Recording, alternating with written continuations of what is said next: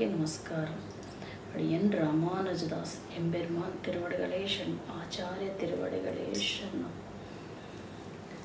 మీ అందరికీ కూడా రేపు దీపావళి శుభాకాంక్షలు అలాగే దీపావళి వస్తుంది అనేటప్పటికీ మనం ఎంతగానో సంతోషంగా ఆనందంగా ఎదురు చూస్తూ ఉంటాం. ఏంటి అని అంటే అమ్మని ఆవాహన చేసుకుని చక్కగా అమ్మతో పాటు స్వామిని తీసుకొచ్చి స్వామితో పాటు కుబేరుని తీసుకొచ్చి చక్కగా కూర్చోబెట్టి పూజలు అవి చేసుకుంటూ మనకు కావలసినవన్నీ కోరికలు కోరుకుని ఆ తల్లిని ఆ స్వామిని మెప్పించి తెచ్చుకుంటాం. మనకు అలవాటు. అలాగే దీపావళి వస్తుంది అని అంటే ఇంతవరకు పడ్డ కష్టాలు. సరే ఇవి ఇక్కడతోటి పోతాయి. ఇక నుంచి దీపావళి నుంచి మన జీవితంలో వెలుగులు వస్తాయి. అందులోనూ ఒక రకంగా చెప్పాలి అని అంటే లక్ష్మీదేవి పూజ కాబట్టి ఇక్కడ నుంచి మనకి సంపదకి లోటు ఉండదు ఈ తల్లి ఇక్కడ నుంచి మనల్ని కరుణిస్తుంది అని అనుకునేవాళ్ళు చాలామంది ఉన్నారు. ఇది సత్యం కూడానండి. ఎందుకని అంటే అందుగురించే మనం దీపావళికి ఇంటి నిండా దీపాలు పెట్టుకుని చక్కగా నిండుగా సంతోషంగా చేసుకుని అక్కడ నుంచి జీవితం మారిపోయిన వాళ్ళు చాలామంది ఉన్నారు. అలాగే మనం కూడా చూడండి. నేను చెప్పడం మొదలు పెట్టిన తర్వాత మనం దీపావళి అంటే నాకు తెలిసి దీపావళి ఒకరోజు చేసేవారు. కానీ ఇప్పుడు నేను చెప్పడం మొదలు పెట్టిన తర్వాత అంటే నార్త్ సైడ్ కానీ ఇంకొక సైడ్ అంటే యూపీ సైడ్ కానీ ఎటైనా సరే మూడు రోజులు పండగ కింద చేసుకుంటారు. చాలా సంతోషంగా ఘనంగా ఆవాహన చేసుకుని అమ్మని పూజ చేసుకుంటారు. ఎలాగంటే ధనత్రయోదశి అంటే ముందు వచ్చే మూడు రోజులు ముందు వచ్చే ధనత్రయోదశిని కుబేరుడిని ఆరాధించుకుంటూ అలాగే చతుర్దశి రోజు నాడు లక్ష్మీదేవిని ఆరాధించుకుంటూ అమావాస్య రోజు నాడు చతుర్దశి రోజు నాడు లక్ష్మీదేవితో పాటు కృష్ణుణ్ణి ఆరాధిస్తారు. మనందరికీ తెలిసిన విషయం. ఆ తర్వాత ఏం చేస్తారు? నెక్స్ట్ రోజు నాడు మనం లక్ష్మీదేవిని ఆవాహన చేసుకుని ఆ తల్లిని ఆరాధించుకుంటాం. ఇలా గనక మనం ఆరాధించుకున్నట్టు ఆరాధించుకుంటూ మనతో పాటు మన బిడ్డలకి కూడా అలవాటు చేసాం అనుకోండి ఎట్టి పరిస్థితుల్లోనూ రూపాయికి లోటు వచ్చినా ఆ లోటు మళ్ళీ క్లియర్ అయిపోతుంది. ఒకవేళ రూపాయి అప్పు చేయాల్సి వచ్చినా మళ్ళీ మీకు మీరు చేసే వృత్తి వ్యాపారాల్లో లాభాలు వచ్చి ఆటోమేటిక్గా మళ్ళీ పుంజుకుంటాం అనేది ఉంటుంది. ఎందుకనంటే ఈ మూడు రోజులు కూడా చాలా శక్తివంతమైన రోజులు చాలా పవర్ తీసుకునే రోజులు. భగవంతుణ్ణి ఆరాధించటం వలన మనకి ఎక్కువ శాతం అనుగ్రహాన్ని అంటే ఇంట్లో ఉన్న నెగిటివ్ అంతా వెళ్ళిపోయి పాజిటివ్ రావడం అనేది జరుగుతుంది. అలాగే ఇందు మీ అందరికీ కూడా డైరెక్ట్ అపాయింట్మెంట్లు ఏలూరులో కావాలన్నా సరే అందుబాటులోనే ఉన్నాయి. అందుబాటులోనే ఉన్నాను నేను. తర్వాత అలాగే హైదరాబాద్ వచ్చేటప్పటికి రేపు పద్దెనిమిది పంతొమ్మిది తారీఖులో నేను హైదరాబాద్లో ఉంటాను. మీకు ఎవరికైనా కావాలి అని అనుకుంటే కనుక తీసుకోండి. ఫోన్ అపాయింట్మెంట్లు అయితే మీకు తెలుసున్న విషయమే. అయితే మీకు నేను వచ్చేటప్పటికి ఏం చెప్తారమ్మా ఏంటమ్మా అంటే నేను మామూలుగా నేను మీ అందరికీ చూసేది మీ అందరికీ తెలుసున్న విషయమే. ఎందుకని మళ్ళీ చెప్పాల్సి వస్తుందంటే కొత్త వాళ్ళ గురించి. నేను న్యూమరాలజీ. అంటే మీకు సంఖ్యాశాస్త్రం ప్రకారం మీ డేట్ ఆఫ్ బర్త్ని పరిశీలించి మీ జాతకం చెప్పడం.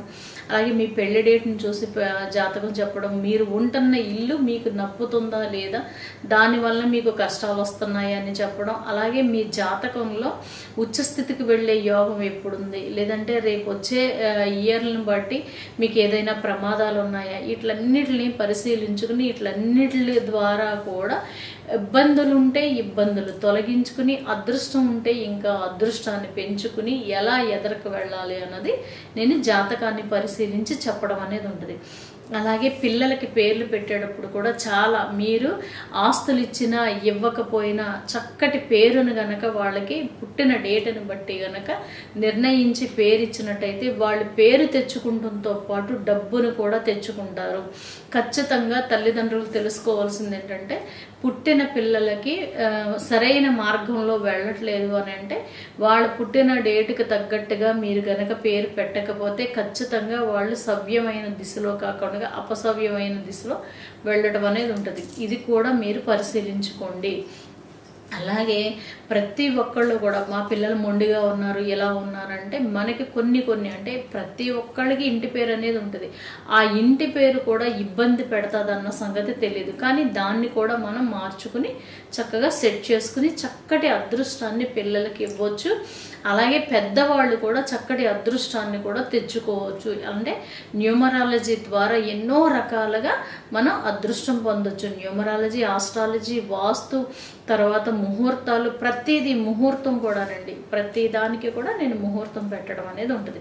సరే మీకు ఏది దేని గురించి అయినా ఎలాంటి సమస్య ఉన్నా సరే మీరు ఒకసారి డైరెక్ట్గా రావాలి అని అనుకుంటే ఏలూరులో అందుబాటులో ఉంటాను. నవంబర్ పద్దెనిమిది పంతొమ్మిది తారీఖులో నేను హైదరాబాద్లో ఉంటాను. మీకు ఫోన్ అపాయింట్మెంట్లు అయితే మాత్రం కొంచెం టైం పడుతుంది. ఎందుకంటే మొన్న గోకర్ణ యాత్రకు వెళ్ళాను. అంతకు ముందు ఈ గోకర్ణ యాత్రలోవి ఇవన్నీ కూడా ఒక రకంగా చెప్పాలంటే చాలా అపాయింట్మెంట్స్ ఉన్నాయి కాబట్టి కొంచెం ఫోన్ అపాయింట్మెంట్లో టైం పడుతుంది. సరే ఏది ఏమైనా భగవంతుడి దయ వల్ల మీ అందరికీ నేను అందుబాటులోనే ఉంటాను. అలాగే గడిచిన మనం దీపావళికి మనం కుబేరేనుడికి పూజ చేసుకుంటాం ఒక యంత్ర రూపంలో ఆయన్ని ఆరాధించడం ఆరాధించుకున్న తర్వాత ఆయన మీ అందరి దగ్గరికి వచ్చిన తర్వాత మీ మెళ్ళలోకి మీ బీరువాల్లోకి మీ వ్యాపార సంస్థల్లోకి వచ్చాక చాలా బాగుందమ్మా అనేసి అన్నారు. అలాగే ఆ తండ్రిని ఎప్పుడెప్పుడు ఆరాధించాలి అనేసి కూడా నేను మీకు చెప్పడం అనేది జరిగింది. అలాగే ఇప్పుడు వచ్చేటప్పటికి మీరేం చేస్తారంటే మీ దగ్గర బీరువాలో ఉన్న తర్వాత మీ మెడలో ఉన్న తర్వాత మీ వ్యాపార సంస్థలో ఉన్న ఈ యంత్రాన్ని ఎనిమిదో తారీఖు అంటే మీరు నవంబర్ ఎనిమిదిని కానీ తొమ్మిదిని కానీ తీసుకుని దగ్గరికి ఇంట్లోకి తెచ్చేసుకోండి. ఇంట్లోకి తెచ్చుకున్న తర్వాత చక్కగా పసుపు నీళ్ళలో కడిగేసి పక్కన పెట్టుకోండి. పక్కన పెట్టుకున్న తర్వాత పదో తారీఖు నుంచి మనకి పదో తారీఖు ధనత్రయోదశి. ఎలా చేయాలి? ఏ అలాగే మీకు ఇంకొకటి ఏంటంటే పదకొండో తారీఖు పన్నెండో తారీఖు చేసిన తర్వాత పూజ చేసేసిన తర్వాత మీరు మళ్ళీ మెడలో కట్టుకుందరు కానీ అలాగే అంతకు ముందు ఇలా చేసుకున్న వాళ్ళు కూడా మాకు చాలా బాగుందమ్మా అనేసి అంటున్నారు. ఇప్పుడు ఈ సంవత్సరం వచ్చేటప్పటికి మీకు ఏంటంటే వీటితో పాటు అంటే ఈ కుబేర యంత్రంతో పాటు సర్వత్రా విజయం కలిగే యంత్రం అనమాట అది లా మీకు వచ్చేటప్పటికి అప్పటికి ఒక తావీదు రూపంలో ఈ మూడు రోజులు మనం ఆరాధించుకుని గనక మెళ్ళో గనక వేసుకున్నట్టయితే సర్వత్రా విజయంతో పాటు డబ్బుని ఆకర్షించటం అనేది మిమ్మల్ని మీ మెళ్ళో గనక ఉన్నట్టయితే మీకు డబ్బుకి లోటు లేకుండా ఆకర్షించడం మీ వ్యాపారం వృద్ధి చెందడం ఇవన్నీ ఉంటాయి. దీంతో పాటు మీకు ముఖ్యంగా నేను ఇప్పుడు పెట్టిన ఉద్దేశం ఏంటి అంటే పిల్లలు పిల్లల గురించి చాలామంది తల్లిదండ్రులు అమ్మ మా పిల్లలు చదవాలంటే చాలా ఒత్తిడికి లోనవుతున్నారు చాలా కంగారు పడుతున్నారు చదవలేకపోతున్నారు అనేసి చాలామంది తల్లిదండ్రులు ఒక రకంగా చెప్పాలంటే కంప్లైంట్ ఇస్తున్నారు. అయితే దానికి ఏంటంటే ఈ యంత్రాన్ని పిల్లలకి కూడా వేయొచ్చు. ఈ పిల్లలకి గనక వేసినట్టయితే చదువులోనే కాదు అన్నిటిలోనూ కూడా వాళ్ళు చురుకుగా ఉండి ఒక రకంగా చెప్పాలంటే వాళ్ళకి రక్షణ వలయం కింద ఉండడం అనేది ఉంటుంది. ఈ మూడు రోజుల్లోనే ఎందుకు చేయాలి? ఈ మూడు రోజుల్లో చేసింది ఎందుకు అంత ఫలితం అంటే సాక్షాత్తు భగవంతుడు. ఇప్పుడు చూడండి మీకు ధనత్రయోదశిని కుబేర త్రయోదశి అని ధనత్రయోదశి అనే ఎందుకు పెట్టారు అని అంటే ధనాన్ని ఆ రోజున కుబేరుణ్ణి ఆరాధించటం వల్ల మనకి ఇంట్లో డబ్బుకు లోటు ఉండదని.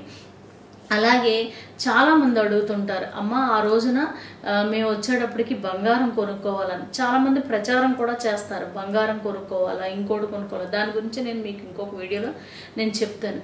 కానీ ఆ- రోజున గనక అంటే మన దగ్గర డబ్బులు ఉన్నాయి అని అంటే ఒక రకమైన బలం వస్తుంది.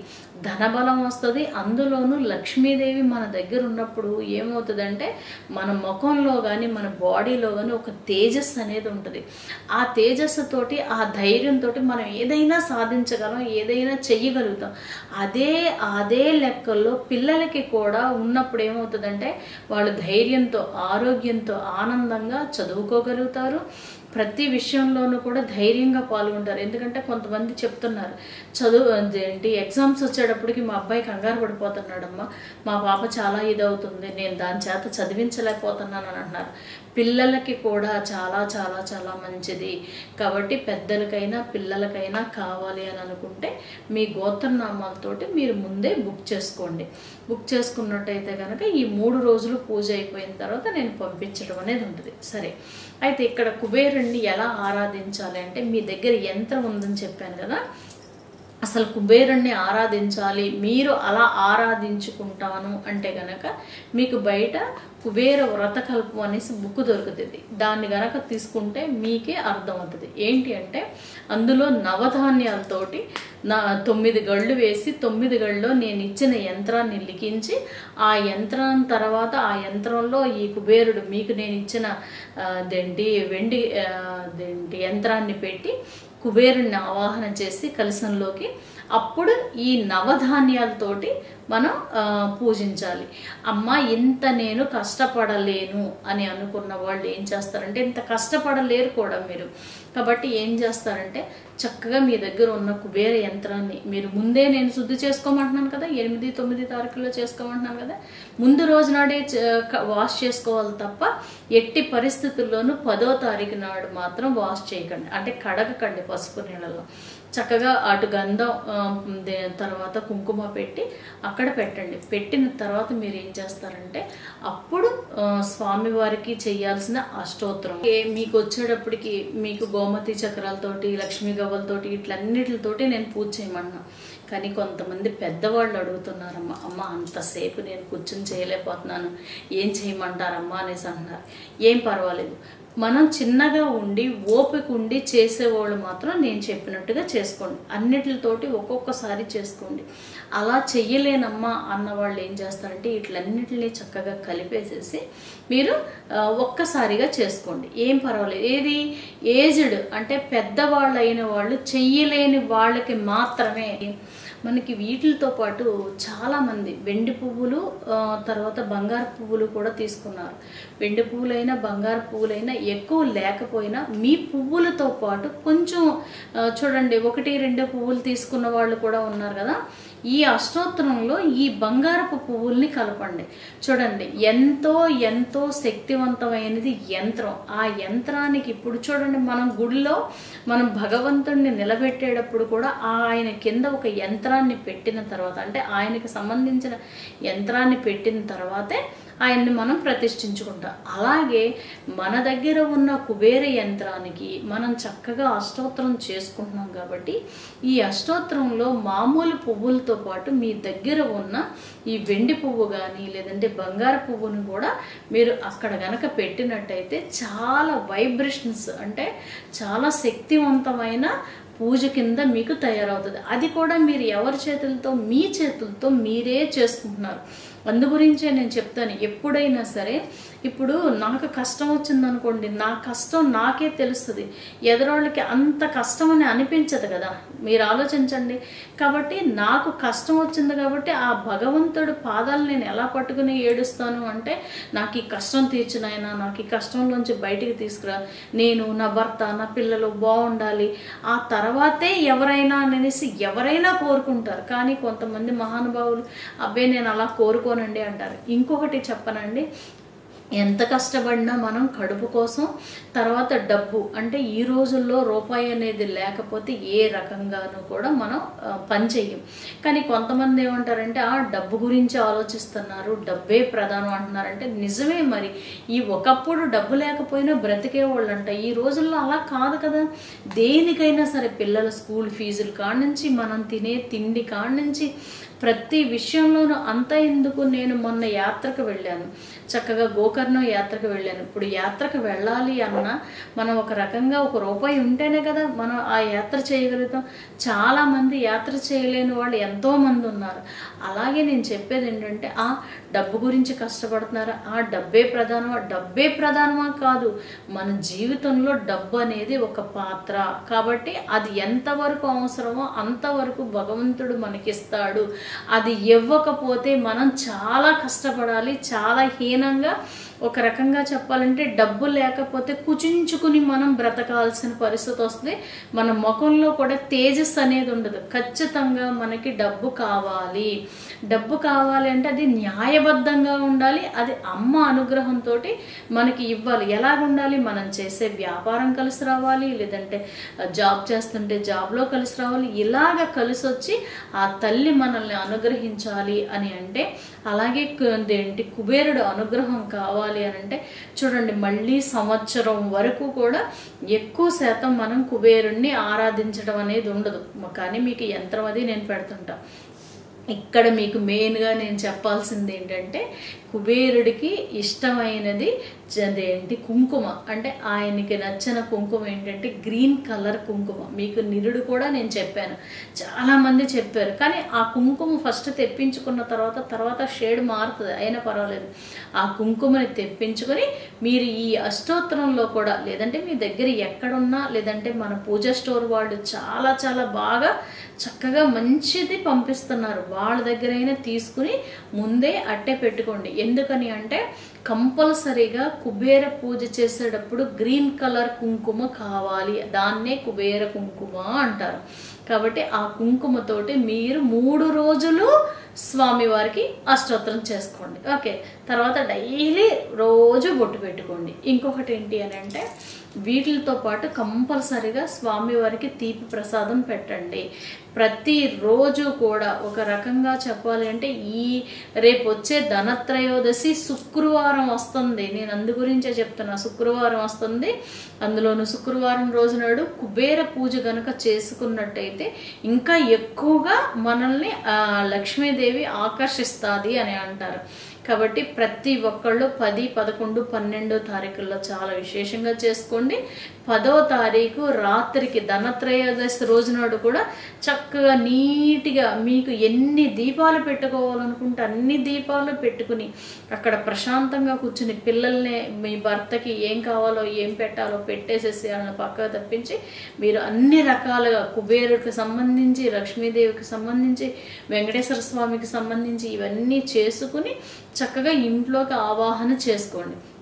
అలాగే ప్రతి ఒక్కళ్ళ ఇంట్లోనూ రేపు పది పదకొండు పన్నెండు తారీఖులు పూజ చేసుకోవాలని అలాగే ఈ కుబేర యంత్రాన్ని మీరు ఆరాధించుకున్న తర్వాత నేను చెప్పినప్పుడే మీరు కట్టుకుందరు కానీ మీరు ఏం చేస్తారంటే పద్నాలుగో తారీఖున మీరు ఎవరైతే తీసుకుని పూజ చేసుకుని అన్ని పక్కన పెట్టుకుని ఉంచుకున్నారో ఆ కుబేర యంత్రాన్ని చక్కగా మీరు మీ మెడలో ధరించండి. వ్యాపార సంస్థల్లో పెట్టుకునేవాళ్ళు వ్యాపార సంస్థల్లో బీరువాలో పెట్టుకునేవాళ్ళు బీరువాలో పెట్టుకోండి. అలాగే ఎప్పుడూ ఎదురు చూసే అదేంటి కొబ్బరికాయ పరిహారం. మీకు నెక్స్ట్ నేను వీడియోలో మీకు కొబ్బరికాయ పరిహారం అలాగే మనకు వచ్చేటప్పటికి దీపావళికి ఏ రంగు చీర కట్టుకోవాలి అలాగే అమ్మవారిని ఎలా ఆరాధించాలి ఇవన్నీ నేను నెక్స్ట్ వీడియోలో తెలియజేస్తాను. జయ శ్రీమన్నారాయణ.